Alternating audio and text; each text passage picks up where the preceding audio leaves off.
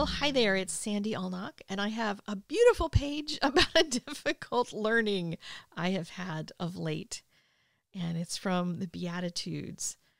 And I've chosen to do this in Luke chapter 6.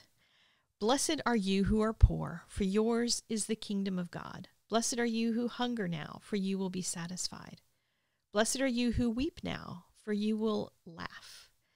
Blessed are you when people hate you, when they exclude you and insult you and reject your name as evil because of the Son of Man. And I chose to make some beautiful leaves for this because God has been teaching me to to revel in the good stuff, not in the bad stuff. And I'll talk a little bit more about that later. But I've made a stem and I'm drawing in some leaf shapes and then I'm going to scribble in them. These are watercolor pencils, which are very forgiving because you're going to add water to them, so you don't have to be perfect in your coloring. It's one of the things that makes watercolor pencils easier to use for a lot of people because even if you're not used to applying color with a brush, it's a lot easier to do it with a pencil and then add the water. And for each one of my leaves, I chose two different colors and I'm going to put the color at the base of, of one side of it a little bit heavier so that I get some nice blending when I add water to it. And I'm using a silver black velvet brush. It's the brand name and the, the line of brushes. And you can either paint it in like that, which is a lot harder, or just lay the brush down. And when you lay the brush down, it makes a leaf shape. And depending on what brush you have, it may make a better or worse leaf shape. So you can practice with your different brushes to see what happens. We talked about leaves a little bit last week as well. So apparently I'm still on a leaf kick. So there you go. But I'm going to go up and down the entire column and do this. And then you'll see at one point when I get all of the leaves in there, I do switch to putting color in between and then painting that portion in. And then I'll come back with explanation of the next step when we get there. But I thought in the meantime, I would do a little confession. Confession is good for the soul, right? And for me, I have been whining in in my interior quite a bit. I don't know if anybody else has that problem.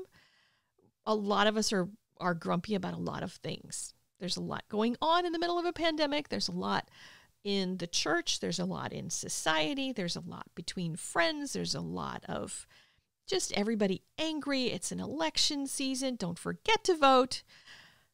But in the midst of all of that, it's really easy for us to get into, I'm going to say me, I'm going to keep this to me. It's really easy for me to get whiny and gripey about things. And whiny and gripey is not a good place to be. And what God reminded me when I read this particular portion of scripture was, you know, he doesn't say, Blessed are you when things don't go your way and you feel persecuted and, and you think other people are after you or whatever it is that you think. He doesn't say, Blessed are you because of these things, now go whine. He just says, Blessed are you, for yours is the kingdom of heaven. Like he turns it to the blessing. Yours is the kingdom of heaven. What are you whining about? That's what I heard when I read that. And it has helped me to, I guess, pull myself back from the edge of whining quite so much. Doesn't work all the time because it's in my nature to be grumpy and to feel put upon by things and people, and whether it's people in the church, people outside the church. I'm just very good at being offended, and I need to remember the blessings so that is what this page is about for me. After I finished coloring in the leaves and then putting color in between each one of the leaf sections, I decided I wanted to clean it up a little bit. And I added some white pen to the outside of the leaves, just outlining them. And then also added a few dots down the center of each one of them.